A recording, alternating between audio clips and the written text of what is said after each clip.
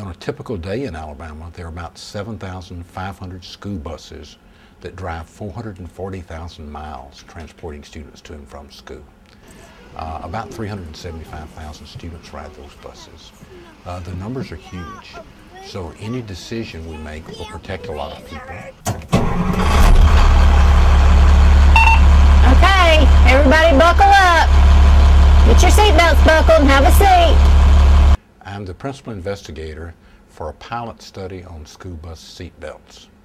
We're trying to determine uh, what it costs to put seatbelts uh, on buses, uh, the number of extra buses it will take because seatbelts require more space than a normal pupil, the cost, how effective it will be at preventing accidents, and all the data that will help us make good decisions about whether to put seatbelts on all our buses.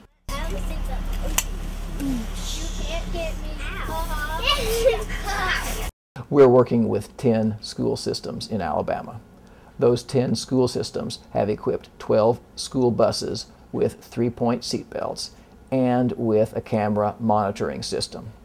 We're going to work with those school systems to determine two things.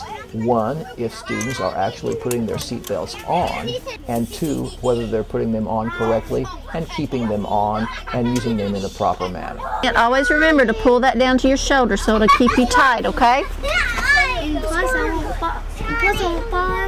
Right. From the surveys, from the study of, of, of recent accidents, from a cost benefit analysis, and from a study of whether or not children actually use those seat belts or not, we're going to be able to come up with a recommendation for the state of Alabama concerning whether they should expand the use of, of, of school bus seat belts. We are pleased that the State Department of Education chose University of Alabama and our University Transportation Center for Alabama here to do this research.